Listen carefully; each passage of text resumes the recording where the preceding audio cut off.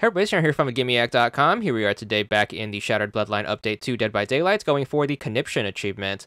This is to down 30 survivors using the Spirit's Haunting ability. This one's going to be done from the killer side. You are going to need to play as the Spirit for this, so make sure you grab her from the DLC pack or from the in-game store. For perks, anything that gives you the exposed status on the survivors is going to be super helpful. So highly recommend Haunted Ground, which is going to be one of her perks. But if you have No One Escapes Death, also recommend highly running that.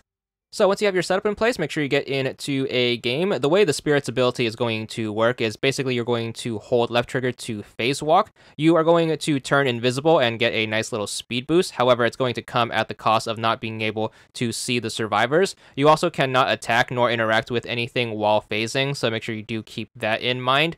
So what the achievement is going to count is going to be any attacks that you are going to land after coming out of a phase walk. Also keep in mind that these are going to be attacks that need to down the survivor in order to count for the achievement, so make sure you first injure a survivor. You want to make sure you hold left trigger to phase walk. Even though you can't see the survivors when you are phase walking, you can still see the scratch marks they leave behind. So you're going to kind of need to predict where they are when you come out of the phase walk. Once you come out of the phase, just make sure you try to locate them and land a quick hit. As long as you hit them within a few seconds of coming out of the phase walk, you should get the count for the achievement. So the best time to get these are going to be when survivors are trying to bait you into loops. What you can do is you can injure them, make sure you pressure them into the loop, and then make sure you use your phase walk to trick them into a spot where they're going to be the most vulnerable, which is more likely than not going to be behind a pallet.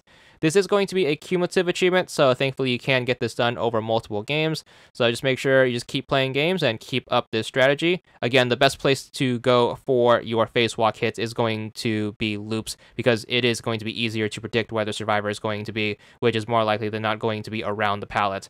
However, if you do see a vulnerable survivor out in the open, make sure do take advantage of that. You are going to move faster during your phase walk, so if you are able to predict where they are going, you can make sure you punish them before they get you into a spot where you don't want to be, and then make sure you punish accordingly. If you are having trouble, remember to take advantage of those perks that give you Expose. With Expose, you can hit a healthy survivor and they should go down in one hit, so you're going to be able to get the sneak on people without having to injure them first. This is going to be especially helpful during the end game. Once they get the exit gates open, do is you want to make sure you phase walk, make sure you put your back against the exit, and then make sure you quickly turn around and down anyone who's trying to make the last push to escape the game. And of course, No One Escapes Death is going to be super useful for this because it is going to give you expose at the end game countdown. So make sure you do punish accordingly.